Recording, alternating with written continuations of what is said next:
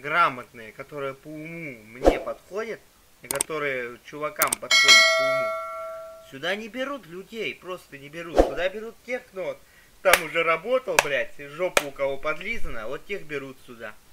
А остальные, ну, хуй сюда попадешь на эту вакансию. Звонить бесполезно, сюда никого не берут. Работ нет в Ярославле, вот сюда не берут. Вот моя работа. Так меня не берут, блядь. Потому что, ну, говорит, она только засмеялась, так, ха, я говорю, по какой причине я не подхожу? Она так, ха, и все, блядь, вот такие работодатели в Ярославле. Даже не отвечает, по какой причине, она отвечает, ну, я, я ее разозлил, короче, домогал там, ну, писал ей там, смс разные различные, этим, резюме отправлял. В итоге она перезвонила, говорит, не звоните да больше в офис типа, вы к нам не подходите. Я говорю, по какой причине? Я так, ха И все, блядь. Говорит, не подходит. И все, блядь, посмеялась, и все, пизда ебаная.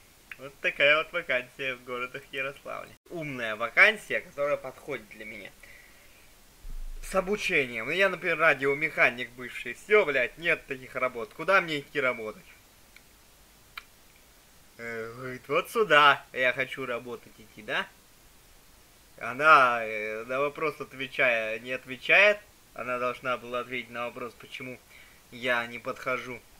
По какой причине. А она только на это вот так. А, -а, -а, -а. Ну это же пизда. Что это за хуйня?